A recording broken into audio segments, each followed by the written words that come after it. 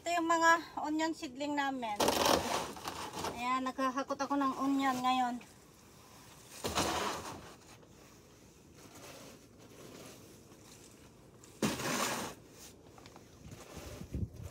Ito guys, oh.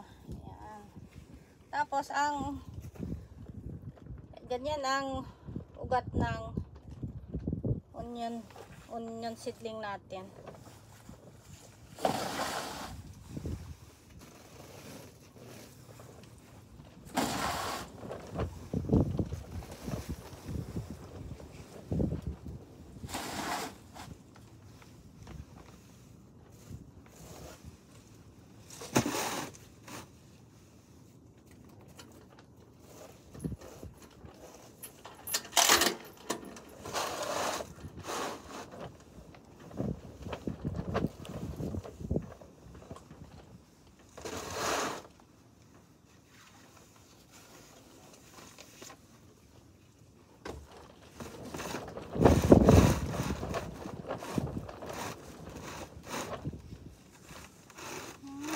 So, ayan guys.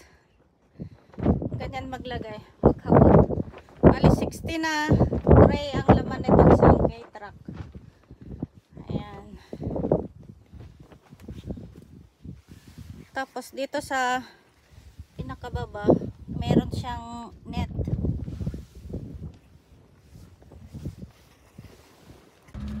So, ayan guys. Naghahakot ako ng onion seedling na itatanim namin.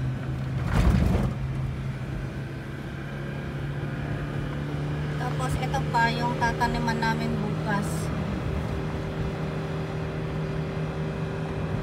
Ayan. Umpisan? Ay, Hello guys! Ayan, magtatanim tayo ng sibuyas.